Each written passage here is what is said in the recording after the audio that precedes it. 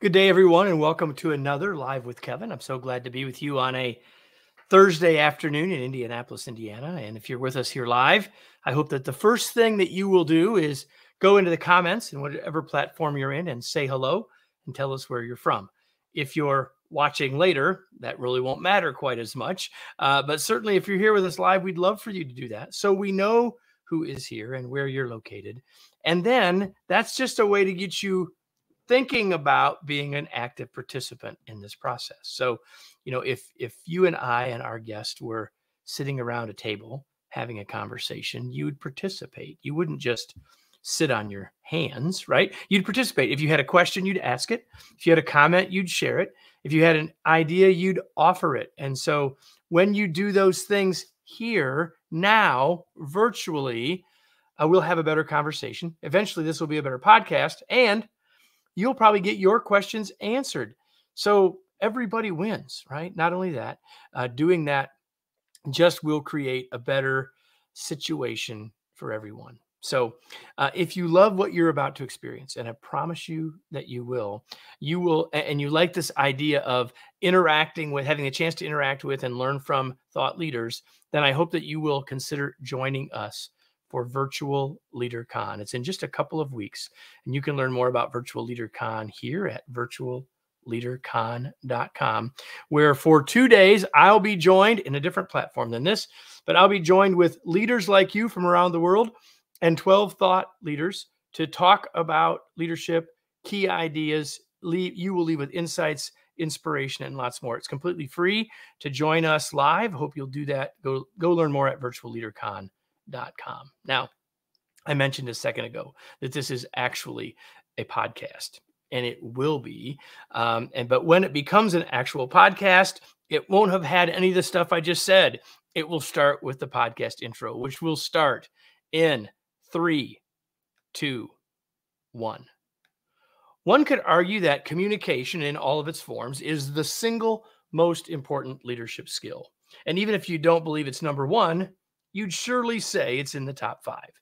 Today, we're talking about leadership conversations, a special kind of communication, conversations as a way to lead change and lead your team. Welcome to another episode of the Remarkable Leadership Podcast, where we are helping leaders grow personally and professionally to lead more effectively and make a bigger difference for their teams, organizations, and the world. If you're listening to this podcast in the future, you could join us live. We'd love for you to do that. You can find out when the live episodes are happening and how to get involved by joining either our Facebook or LinkedIn groups. Just go to uh, remarkablepodcast.com slash Facebook or remarkable dot excuse me, remarkablepodcast.com slash LinkedIn. And today's episode is brought to you by our latest book, The Long Distance Team, designing a team for everyone's success. You can learn more by going to longdistanceteambook.com. At longdistanceteambook.com, you can get a free excerpt, learn more, and I hope you'll do that. And now it's time for me to bring in our guest. Here she is. Whoops. There she was. There she is. And let me introduce our guest. Her name is Rose Fass, and we will get started. Rose is the founder and chair of Fass Forward Consulting Group, a leading edge business transformation boutique. She works with executive teams from Fortune 500 companies. Rose is a frequently invited to speak at private and public sector events. She's been a guest on CNBC and is quoted in several best selling business books. She's also the author of The Chocolate Conversation Lead Bittersweet Change, Transform Your Business, and her new book, The Leadership Conversation Make Bold Change One Conversation at a Time. She's listed in Forbes 2012 uh, as a top 10 woman in business of business leaders in New York. And her company has been a part of the Inc. 500 and 5000 for three consecutive years. She has a bachelor's from Boston's University School of Management and has completed the Advanced Executive Studies program at Harvard. She is our guest here today. We are so excited to have you. Rose, thanks for joining us. Thank you. Thank you for having me. I look forward to the conversation. So let's see. We've got some we've got some folks. We've got some folks from I think that's your hometown. Yeah. Uh, we've got Pittsburgh. We got more people from Pelham. We've got people from let's see, South Florida and lots more. We're glad you're all here. So, um, I, I want to just start, Rose, by having you tell us a little bit about your journey. I'm guessing, I often say this to people. I'm guessing when you were five, you didn't say, I want to be an author and consultant. So, like, tell us a little bit about the journey that leads you to this point. You know, it's funny. I'll open up with a signature story that would sum it all up. I grew up as a young Italian uh, girl, Italian American girl. Um, my dad had been a World War II Marine um, and was conversant in all the Romance languages. And he also was a published poet, which is unusual. Uh, very dichotomous kind of personality. He was a Gemini. Uh, but we lived in a four flat house. And uh, I went to school with a group of uh, Italian American girls. And Annette Funicello uh, was one of the older girls, and I will date myself, ladies and gentlemen, but Kevin will know who she is. Um, she was a very popular, she was a very popular teenage uh, heartthrob for many men during those days, many young boys during those days. But we were a group of girls who were very jealous of the fact that uh, Annette had made it to Hollywood, and East Utica is the dregs of the winter that lasts forever in upstate New York. Um, so at five, I was probably thinking I'd love to be a movie star, you know, somebody special. But this was when I was about nine years old, and I'm walking home, and it's finally a spring day, and it's not easy to come across those. And I arrive at my house, and I'm very depressed because Annette Funicello, who's much older than us, but has been discovered by Disney and is going to Hollywood. And my dad is plucking dandelions out of the front lawn and now I'm speaking to both the Marine and the philosopher, and I'm walking by, and he's like, Rose. And I said, Yes, Dad. And he said, uh, What do you see? And I thought, Oh, no, I don't want to have this conversation. I'm very, very tired, and it's Friday, and I'm depressed. And so I said, uh, I see a dandelion, Dad. Um, and he smiled and he said, No, honey, tell me what you really see. Look, look broader, look deeper. I said, uh, I don't know, Dad. What do you see? Uh, I had become the queen of the rhetorical responses at a young age. And he said, Rose, I see the end of a very long winter, the dawn of a new spring, the beautiful expression of this wonderful flower that introduces us to spring. I see lovers walking hand in hand, exchanging these in silent I love yous. I see children plucking them out of the ground and bringing them to their moms to be put in juice glasses and set on the window sills in their kitchens. And I looked at him and I said, You see a lot, Dad. He said, Soon, Rose, the prettier flowers are going to come along. The tulips, the daffodils, the irises, and yes, darling, even the roses. And I, like many other homeowners, will start ripping the dandelion out of the lawn, going to the nurseries, getting the chemicals to burn it out. This now beautiful expression of spring becomes a weed and a distortion to the lawn. But the beauty of the dandelion is not in its fleeting glory when it opens up its flower and introduces us to spring. Um, it's in its root because all of us who have ever played around with dandelions know that they fight to come back and they come back double fold because the dandelion is resilient.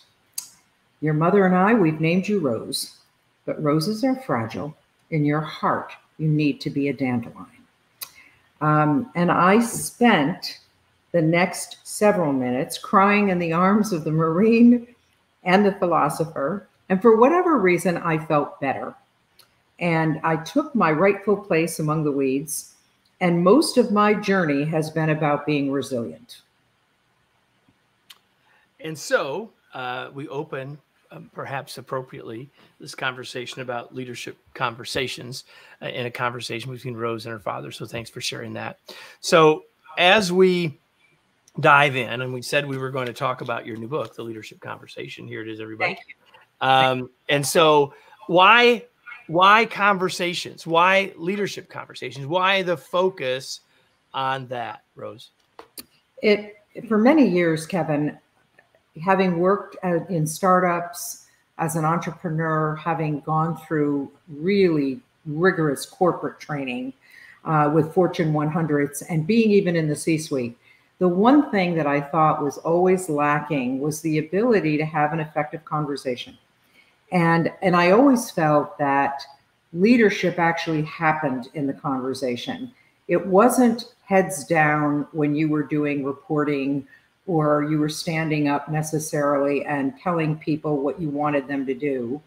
It really happened in the way in which people interacted with their leaders, understanding what it was they were meant to be doing and giving it purpose and meaning so that people really felt like one, they were being listened to, and two, they were listening to you. Um, I told you my dad was conversant in all the Romance languages. There was a reason for that. He wanted people to know that he was listening. He used to say to me, if you do anything right in this world, Rose, just listen. Um, and I learned that at a young age. So later, as I got further and further into my career, I began to see the lack of what I considered to be really worthwhile and good conversations. And I also later on remembered saying to someone, when you become a leader, the casual conversation can't happen anymore. You can't do that flyby in the hall. You're responsible for what you say. Um, you've got to think about things. And it doesn't mean you can't be informal. You just can't be casual, offhanded. Um, and little by little by little, um, in the first book, The Chocolate Conversation, I got that inspiration from going to a chocolate party, bring your own chocolate in college. And uh, I began to see how uniquely different people think about simple concepts. And this was chocolate. And we were having all kinds of debate. So I'll pause there um, to just give you an opportunity to, you know, follow up with me. But that's basically why I have always felt very strongly um, about this concept of conversation. So the new book is about this idea of leadership conversations, and and I said it in the opening, and you just said it again that you wrote this other book called Chocolate Conversations, and you talk about it a little bit in the new book.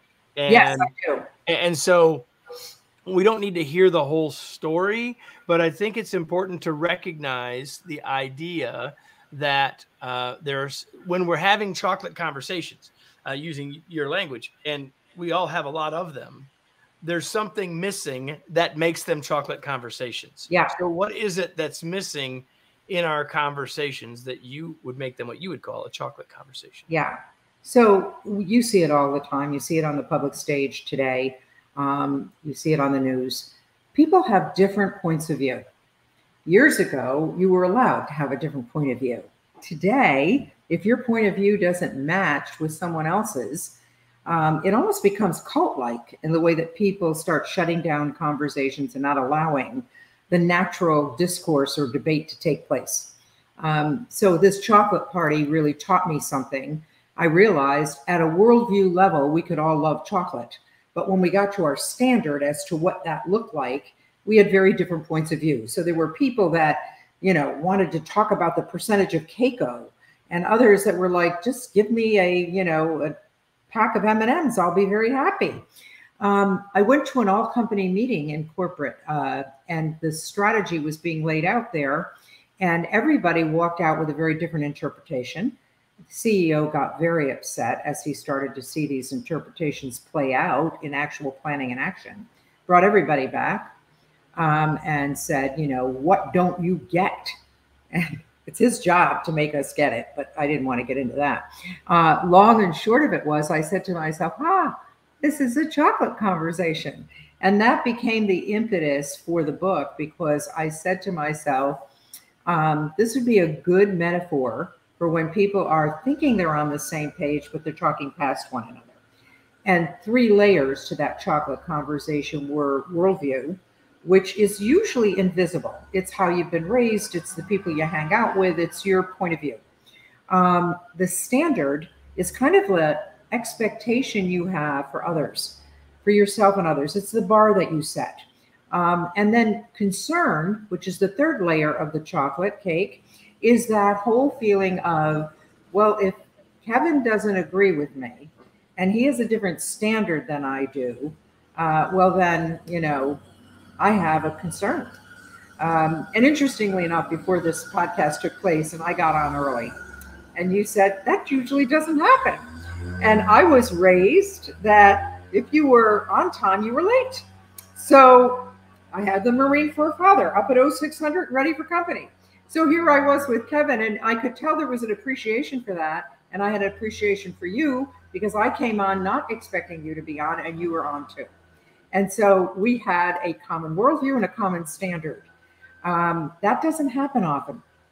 And we have to be prepared that if someone else has an alternative or different point of view, that doesn't mean they're wrong. Um, and that's the key. To that point, you talk about constructive dissent. Yes. Versus yes. destructive dissent. Yes. We don't have to talk about destructive dissent because we all know what that looks like. Yeah. Uh, but, but, what are the what are a couple of ideas to help us with this idea of constructive? Yeah, I think uh, you know I was watching Mona Lisa Smile uh, once again, uh, one of the movies that I really enjoy, and uh, she is the the main actress in the movie is standing there in showing a Jackson Pollock painting in the 1950s to an art class of Wesleyan women. And they're like, what? And she said, I'm not asking you to like it. Just consider it. Just consider it. And I think that's the key. I think we have to consider what another person is saying. They may not, we may not agree. We may come from a very different point of view. I'm I'm always struck, Kevin, by the fact that the people that re- really request a lot of tolerance and want empathy and expect people to be accepting and inclusive can oftentimes be the least tolerant. And that's always shocking to me. It's kind of like, okay, I may not have an ultra conservative point of view, but I need to consider it. Uh, I may not have an ultra liberal point of view, but I need to consider it. That's all I'm saying. I just think the way you can have a constructive conversation is to allow the other person's point of view to exist. You don't have to agree with it. Yep. So it's so it's one thing uh, for us to work on that ourselves. It's another thing for us as a leader to be trying to create that as a standard, to try to create that as an expectation, to try to create that as a culture on our team. So what advice would you have if if we're sitting here nodding our head saying, "Yeah, I want to get I want to get better at that, but I want my team to get better at that." What's your advice to help us do that? Yeah, I, I once went to an offsite um, with a gentleman that had years and years and years of experience as a philosopher. And he asked us all to bring a piece of music. And uh, this was a very, very energized group.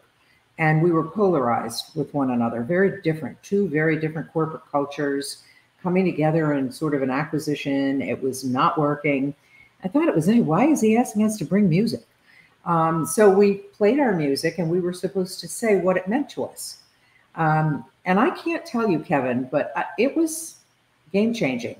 Um, I played Ave Maria because it reminded me of my grandfather, who was Italian immigrant, and it was just beautifully done by Pavarotti. And I played it, and I said it just reminds me of home, of being with my grandfather. Uh, and people started opening up in different ways, and I think we have to try to break down the barriers that exist. And by giving something to somebody that is totally outside of the typical business conversation and ask them to do something as simple as bring a piece of music and tell people why you like it. One of the other things that we've done at Fass Forward that I think is an interesting thing is we ask people to introduce somebody um, and talk about what stands out for them in that person and um, and what they think they could learn from them. Uh, and we shake up the names in a in a hat, and you just pick out a name, and I get Kevin. Mm-hmm. And I may not know you all that well, but I'm able to do something. I think the important thing for all leaders to do with their teams is to create a foundation for listening that maybe is right, not directly in the mouth of the beast, but a little bit outside the icebreaker that then allows people to see people as human beings before they see them as different points of view. Um, I, I, love that. I, I do love that a lot. I, I want to read you something. This is not a test, but it happens to be on page 37 of the book. Uh, and I'm, we, I'm, I'm talking with Rose Fass. If you came in in the middle of this, or you, or you lost track of where we are, and we're talking about her new book, The Leadership Conversation. And I'm going to read you a line from the bottom of page 37, and I just want you to comment on it. Okay. Uh, so it, it, stands on its own, and yet I'd like you to to to uh, add to it as you'd like. Speaking naturally and authentically about what you believe in, whether it be a political position, a personal choice, or a business decision, will get the attention of your audience. Yeah. And I think it's about being real. I, the best example I can give of that most recently, um, I never thought about Zelensky. I don't know if you did. I didn't. I didn't even think about him. Tell you the truth. And then when I heard he was a comedian and all that, I thought that's kind of interesting. Um, and then that moment when uh, he was asked if he would like an escape out of the country and a safe departure. And I thought, what an extraordinary leadership moment. What an authentic, real way of sharing his point of view without being sarcastic, but being slightly humorous and turning around and saying, Look, guys, I don't need a ride. Just give me the ammunition that I need to take care of business because this is my country. I'm not leaving. I go first. Um, even if you didn't agree, um, what an extraordinary, real moment that was. I always I tear up when I think about it because to me, it's like Rosa Parks deciding not to get up off of her seat on the bus. It's those little things that you're sharing your worldview, but in a way that people can hear it because it's so real. Or Gandhi standing in front of Parliament and they prepared to dislike him and giving him a standing ovation because from the heart he's sharing something. So I do think when we're vulnerable and we're compassionate and we're sharing from the heart, that kind of authentic, you can't help but love the person even if you disagree with their point of view. Which takes us back to where we started, and there's so much, there's so much discussion and effort aimed at uh, DEI, B, whatever words we want to put in here, right? About uh, about creating inclusiveness, creating uh, collectiveness, creating belonging, creating the, the chance to learn from and with each other. And yet, we can do all of that we want if we, without doing what you're talking about, Rose. We're never going to get there uh, ultimately. And uh, and so I really I really love that. And and that that piece that I just read where you talked about being yourself and the examples that you just shared are sort of the opposite of what we often see and i know yeah. that you see because it's in it's in the book is the is the idea of corporate speak so yeah. If if there are leaders listening now that have trouble being that real self or are locked into corporate speak because that's what everybody else does what advice do you have for them there yeah um, it's hard to unlearn. Uh, and sometimes we bio out of our parents, and even our parents can be very formal. Some people come from very formal parents, and so they are taught not to express or show feeling. Um, and I've, I've had people like that work with me and for me, and I've worked for those kind of people. Um, and my heart goes out because it's difficult. But I think if you can find that place where you can identify who you really are. Um, you know, it's it's one of the hardest things to do, but it's so important to be able to find that place where you can hear your own voice, where you can know if you quiet down enough what your gut is telling you. And it takes practice kevin. You know it, it, comes relatively easily to me because i grew up in a family where everybody just said whatever they felt like saying. Um, but not everybody has that and i'm aware of that. And um, it's one of those things that we just have to we have to get in touch with ourselves it's a wonderful old poem the journey uh, and she talks about how i sweep and sweep and sweep and this house is too small for me and I go out in the wilderness and there's debris all over the place and I in the noise and I'm hearing the melancholy of their cries. um, you know, pulling me and pulling at my heartstrings. And then finally, things calm down. And I hear a voice that sounds strangely familiar to me, and it's my voice. Um, and I know the only life I can change. I think that's the most important thing for anybody who's trying to get in touch with their authentic self is to go to wherever you need to go to to find that still small voice that's talking to you. Um, it's not easy, but it, that's what you need to be able to do. So there's a chapter in the book um, that talks about going there. And uh, we all know this phrase. Well, I don't want to go there. And uh, as I was thinking about what all I wanted to talk about in our conversation, I thought, well, we probably ought to go there. Um, and, and so you say that we've got to go to the places that people say we don't shouldn't go. Yeah. Um, so why do you say that? And give us an example. Yeah. So uh, I was working with a woman that I really admire and I'm going to say her name, Leslie Varon. She came out of Xerox, a wonderful woman, brilliant finance person. Anyway, she said to me once, she said, "Don't go there, Rose." Uh, and I knew that meant that it was undiscussable. There, she was worried about me getting in trouble and all that kind of stuff. And I thought, no, we need to go there. We need to have this conversation. We've forgotten our way. We're not taking care of our customers, and we got to talk about it. We got to talk about what we're doing here we're putting a lot of burden on our sales force to do all kinds of things that were creating a lot of customer effort. Um, and so it needed to be discussed, and no one wanted to.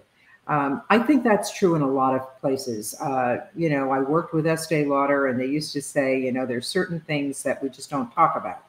Um, and they're a wonderful company. And yeah, I say I packed my bags and I'm definitely going. Um, I think when it's hard to go there, it's because we don't know how to do it in a respectful way. Uh, so it's not about being snarky or sarcastic or shaking a person down or making them feel less than so that you can be important. Recently, one person that I work with uh, at uh, Fass Forward said to me, I was having a conversation with someone and I said, I cannot shrink to make you feel big. Um, and I thought, what a wonderful, wonderful expression. It, it is about being kind when you're disagreeing with someone, and to just say, you know, I have an alternative point of view. I'm a little worried that you're going to be upset with me because I don't totally agree with what's going on. I've done this. Um, but if you don't mind, I'd like to express what I'm feeling. And I'd like to at least have you consider what I'm saying and let's talk about it it's the conversation about the conversation. You almost need permission sometimes to have the conversation with someone. Is it okay if we talk about this? Um, I know it's delicate, I know it's uncomfortable, but I'd like to be able to bring it up. I think we have to do it, Kevin. And I think those are there's respectful ways of doing it. And the thing people worry about the most, and the reason they don't want to go there, is they're afraid of something happening that's not going to be good. I'll lose my job, somebody will dislike me, I'll break a relationship, whatever it is.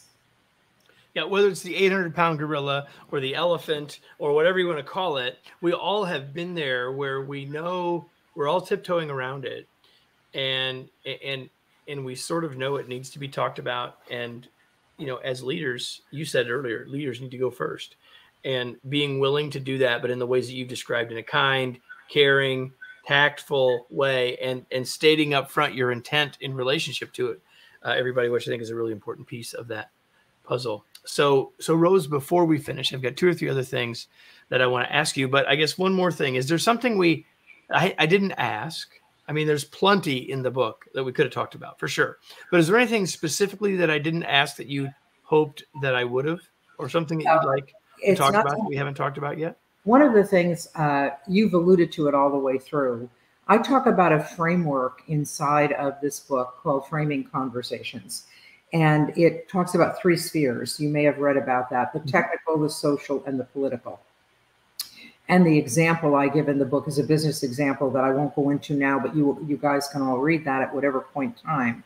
But it's how do I take my technical expertise, what I know, but put that in a context that others can understand, socialize it in a way that I'm connecting to another human being So the technical sphere is what I know, the social is who I know, and am I connecting with who I know? And then what I talk about in the third sphere is the political. And I don't mean it in the way we're seeing it on the public stage today. I mean it in the way it was intended years and years in ancient Rome and all of that, the politico, which was how am I positioning things? Not posturing, but how am I positioning things? Because anybody can posture, but am I positioning it in a way that the other person can feel like they're included in the conversation? And those three things are critically important. And so, if technical is what I know and social is who I know, then the political is who knows me. And do they know me for the person that I am? And they can trust me, and I can become an opinion shaper. Because in the technical sphere, I'm a valued asset. In the social sphere, I'm a valued colleague. But in the political sphere, I'm an I'm really a valued uh, opinion maker. People are seeing me as a valued advisor. And I want to go from just being a valued asset to being a valued advisor. So it's a very important part of the book. And one last piece is the four considerations that I put in there of business. Um, are you relevant? Can you grow? Can you scale? Can you do it productively and profitably? Uh, and a lot of businesses lose their way because they spend all their time on the growth and the profitability, and they lose sight of, am I relevant? Yep. And that was, I put in the book that Stephen Jobs was addicted to relevance. You never knew you needed a thousand songs in your pocket, neither did I. Um, but he started with a concern that people might have. In this case, visual voicemail. Gee, can would people like to be able to see what it was before they listen?